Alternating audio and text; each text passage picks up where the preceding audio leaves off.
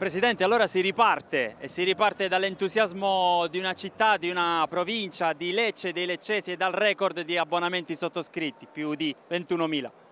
Sì, è così, è un bellissimo segnale di tutto l'ambiente, di tutto il territorio che ha deciso di esserci accanto. Ormai da un po' di anni a questa parte ha capito il senso del nostro progetto, il nostro modo di fare calcio e cerca di essere, di essere con noi. Stasera ancora una volta registriamo il tutto esaurito, un bel segnale da parte della nostra gente eh, che, che è sempre presente allo stadio. Che bello stadio Presidente, stadio che si rifà il look a certificare ancora di più la solidità del progetto Lecce.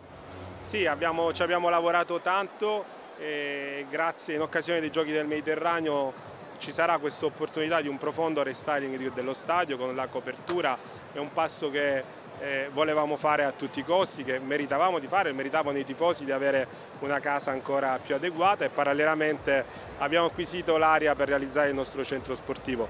Cerchiamo di strutturarci sempre di più e cercando di essere all'altezza di una piazza così importante.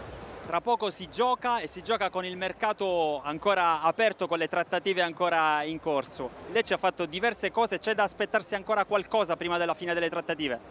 Noi stiamo cercando di puntellare un organico che già dall'inizio del mercato a oggi ha visto sette nuovi ingressi, sette operazioni di mercato fatte con criteri e dalla nostra ottima area tecnica, eh, probabilmente non è finito il lavoro da fare in questa sessione di mercato, eh, riteniamo se ci saranno le opportunità di fare qualche altro intervento sino alla fine del mercato.